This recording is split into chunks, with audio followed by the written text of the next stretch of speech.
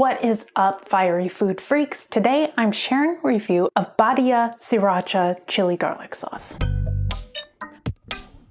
This one was recommended to me by Broho Sauce Co on TikTok, and they've actually got their own line of hot sauces, so be sure to check them out. I'm always so grateful for recommendations, so if you have sriracha alternatives that you like or that you want me to try, drop the name in the comments. I've got a whole playlist of sriracha alternative reviews, so be sure to check that out if you're looking for something to swap for Huy Fong during this shortage. So this sauce is by Badia, which is a Colombian company. So we'll see how closely it follows sort of the traditional Southeast Asian recipe that sriracha is. This one uses cayenne chili peppers plus red habaneros, which is really interesting because like Huy Fong, for example, uses red jalapenos, and both cayenne and habaneros are significantly spicier than jalapenos. So I'm interested to see how this one compares in terms of heat level because it could be a whole lot spicier. It's also got sort of the typical vinegar, sugar, garlic,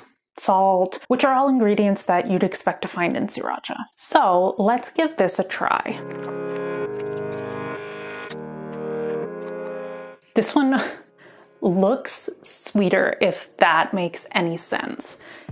It definitely smells a lot sharper in terms of heat. Somehow I can smell that habanero. I think this one is gonna be a lot hotter than Huy Fong Sriracha, which I like spicy food, I like hot sauce, so that's not a problem for me.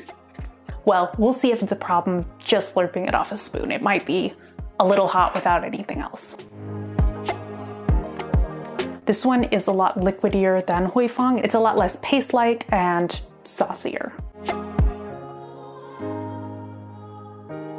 This one tastes a lot different than Huy Fong Sriracha, so if you're looking for a one-to-one -one replacement, this might not be it.